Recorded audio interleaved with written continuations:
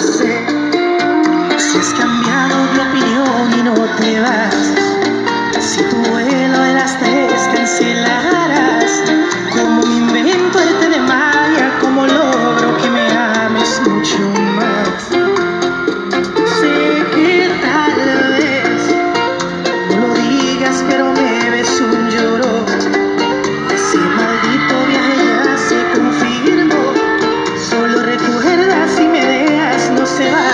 subiera.